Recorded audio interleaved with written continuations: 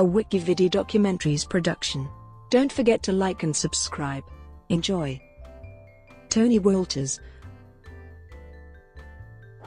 Anthony John Wolters is an American professional baseball catcher for the Colorado Rockies of Major League Baseball. Career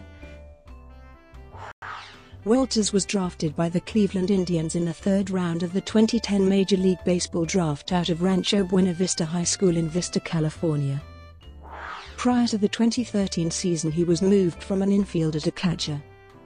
After the 2014 season, the Indians added Wolters to their 40-man roster. The Indians designated him for assignment before the 2016 season. And he was claimed off of waivers by the Colorado Rockies. 2016 Wolters made his major league debut on April 5, 2016, as a defensive replacement for Nick Hundley. In his first major league at-bat, Wolters grounded out off of Jake Barrett.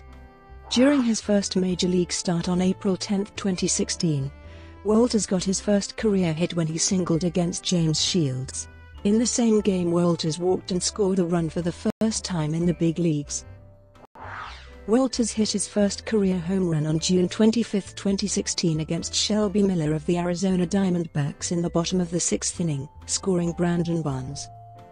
For the season he hit .259 with three home runs and 30 RBIs, and four stolen bases. 2017 On April 3, 2017, Wolters was the starting catcher on opening day against the Milwaukee Brewers.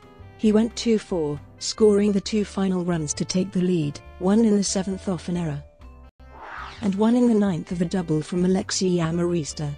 He struggled offensively throughout the season, ultimately being the backup catcher to Jonathan Lucroy after July. He ended the season hitting .240 in 83 games with no home runs and 16 RBIs.